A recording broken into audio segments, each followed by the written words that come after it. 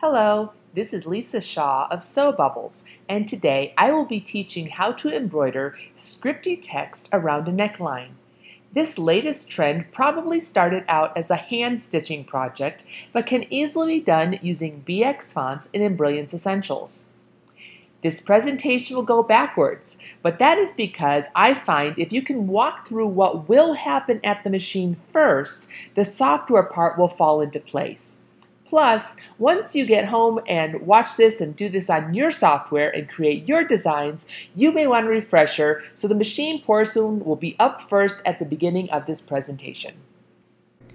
Although we will be creating circular text, you can tell from this photo that not all round necklines are perfect circles. Your printed templates will help you decide how the lettering should be arranged and adjusted to create the look that you want. For larger projects, such as embroidering around this entire neckline, it will be easier to work on three or even four design layouts together that will create this entire project instead of trying to work on it all at once. In addition to proper stabilizer used for the shirt itself, I find that a ruler, temporary marking pen, hoop grid, sticky stabilizer, and a printed template are vital to successful embroidery of this project. An actual size printed template prevents surprises when the embroidery is complete. Use a bit of double stick tape to hold the trimmed template in place while you double check position and placement. Transfer the markings from the template to the garment using the temporary marker of choice. Trust the template. If it looked good on the garment, the markings ensure the embroidery will stitch where you saw it based upon the template. Use the grid to mark your hoop stabilizer. The marks on the hoop may not be the actual center, so be sure to use your grid. My garment has poly mesh fused to where the embroidery is going to be. You can never check too many times. Placing the printed template under the hooped stabilizer ensures that all things are going to line up where they need to be as you're placing the garment onto the sticky stabilizer you need to match the crosshairs on the fabric with the crosshairs on the stabilizer. A straight pin through both centers gives you an anchor point to maneuver with. The poly mesh helps you to refrain from stretching the fabric into place. Load the embroidery design to the machine and carefully attach the hoop. Use the hand wheel to drop the needle into the fabric. It should be in the exact center of the marked crosshair. Use the onboard adjustments to move the design until the needle lands at the center of the crosshair. The first color that stitches is the basting box. This secures the garment to the stabilizer so your embroidery stitches exactly where you want it to. Water-soluble stabilizer will help with trimming of jumps if your machine doesn't do so, and it, as well as it will allow the stitches to relax after the garment is washed. And now we are done with our project, so let's head on into the software and see how this is all set up. The style of font used in this project is often referred to as a floss font, vintage style, handwriting, or bean stitch script fonts. Two that I used were from Creative Appliques and Lynnie Pinnie Embroidery Designs, and they're shown here, both available as BX installation files. We are going to use curved text, and based on the item's neckline that we're going to be working on, it may not be uniform, so we may have to do some adjustments. On a simple t-shirt, you can find a starting point to work with the curve by measuring from the center of the neckline circle to the edge where you want the top of the letters to go, and this will be your starting point. The white shirt I was going to embroider on started with a radius of 4 inches. So to create this text, I first chose the circular text option after choosing the lettering tool. Let's take a step back, start with a brand new design page, and go right from the beginning on how I created this layout. So here I have my original open design page, nothing's in it, and I am going to select the lettering tool. That puts the ABC in the center of my page, and right here at the top, I am going to choose circular text. So we have multi-line, single line, and circular. So I'm going to change it to that, and nothing changes on the screen yet. I need to type in the text that I, I want to uh, choose. Now I'm going to type in live, love, laugh, and hit the enter key, and you'll see that it arches, but it is in block font.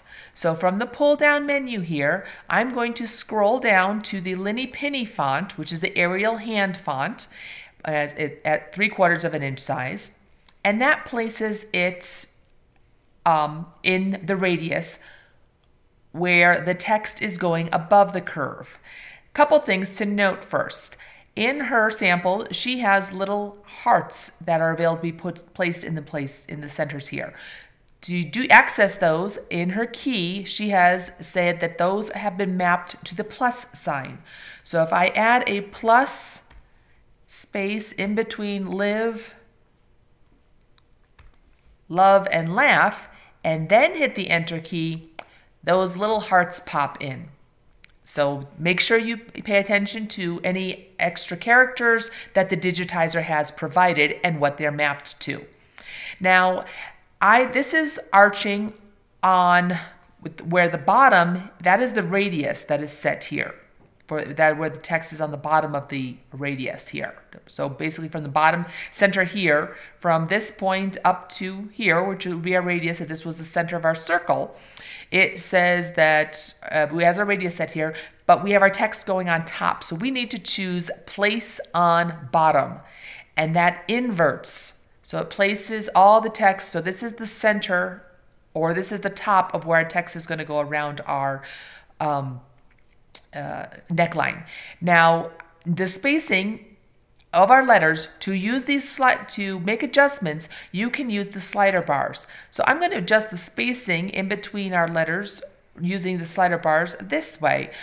That will adjust the characters which is fine but i also want to close up or uh, squish up the space between the hearts. So that would be my word spacing so i can make them a little bit closer together I want to do adjustments with my spacing sliders first because once I do that, or once I will want to make other adjustments using the center selectors, and you can't do that after, after and then go back here and make these adjustments. For example, if I go and I move this heart up here, say I want it to be there, and I'm like, oh, I wish I had made my spacing different here.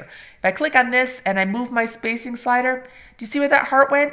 Down to the bottom. So adjust your spacing sliders first, then adjust your um, individual adjustments. That's just a, a tip here. Now, I know that I want this live to be starting at the center of the shirt or towards the center of the shirt and curve up along the shoulder. So to get an idea of what it's going to look like, I'm going to rotate the entire section around the circle. To do that, I selected the letter L by grabbing on the center's dot selector. I put my mouse cursor on top of the lower triangle, and that not only moves that one letter, but all the letters around it. Of course, I can't see the rest of the letters because they're no longer in my hoop. So while this is still selected, I'm going to click off of it so that I don't just have the L selected. I want the entire lettering tool selected or lettering object selected. And then I hit the center button to center the entire thing in the hoop. Before I go any further with my adjustments, I look at my radius. And if you remember, I said that radius was set to about four inches. So I need to scooch this down till this says about four inches so that when I make these adjustments and print my template, I can see if I need to make any further adjustments because nets are movable. Uh, everything's to be different. So based upon the template, this is giving me a starting point. So now I'm looking at my letters and it is a script font. And I do want some of these letters to attach each other. So for example, let's look at the word love. See how the O is almost attached to the V? Let's go and zoom in on this so we can actually see it a little closer. I want that O and that V to touch each other. So I'm going to click my center a selector of the V, grab the lower triangle, and it moves the V and the E and the heart and the laugh all together, all at once around that circle. And I can grab the same thing and do that with the E so that it's moving all the letters together. If we zoom out, I want to show you up close because that's how you'll want to do it. But look, I'll look at this one here. I have the I and there's the V. If I grab that lower triangle, the V, this is what was happening. It is moving that letter, but all the other letters along with it so that you can make your adjustments nice and close and things as how they need to be. So the last one, I, I those look actually pretty darn good at the moment. So I'm going to go up here and I need to zoom in a little closer because I want to see what I'm working on. And I have the A and the U. And if I want to scoot those over, yes, and then I'm going to go and grab the G and scoot him over. And I'm looking, this is a little tight in here for me. So I may want to make a little bit of adjustment, moving that A up a little bit, moving that U up manually. I am manually moving each letter. I'm not moving them all together anymore because I want to customize this because this curve is not perfect. And you can, depending on the font you choose, you may need to do things such as moving individual letters up and down. And you can even do things such as rotating individual letters.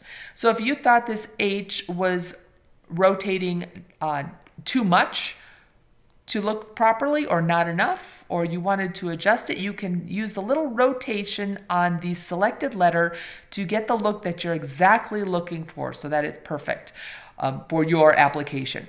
Just remember to zoom back out. A shortcut key is hitting the A key on your keyboard. That will zoom out to all stitches so that you get a good idea of what the finished product is going to look like. You're not so close and looking at it. Let me go and know that I'm, I, uh, based upon things that I've, I've worked on, I think I'm going to have to hoop this little cattywampus. So I'm going to try and keep it as centered as possible. So I'm going to move that L. I'm just looking at how it's it's curving because this is how my template's going to print. And as soon as I have it adjusted, I will hit the center button because that's how the template will print in my center.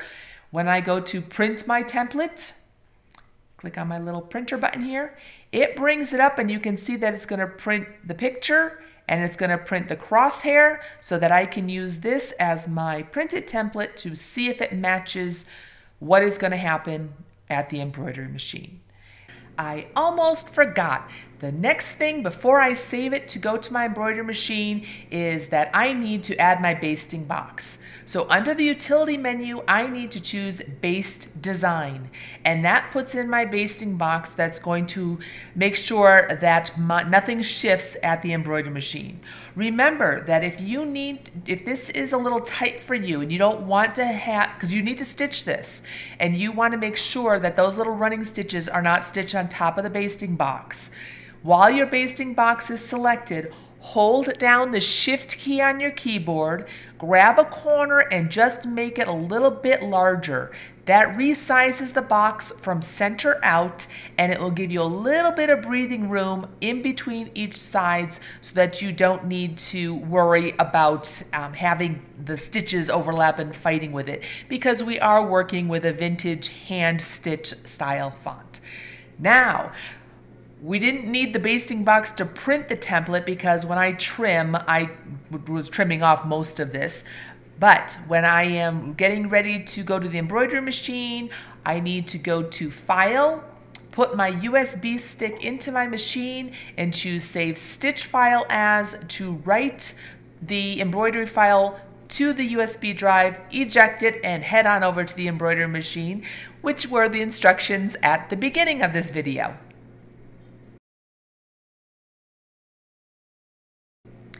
I hope that you enjoyed watching this how-to project video showing an easy way to create and stitch curved script lettering around a neckline. Please visit the Embrilliance YouTube channel for more videos on various specific topics in each of our programs.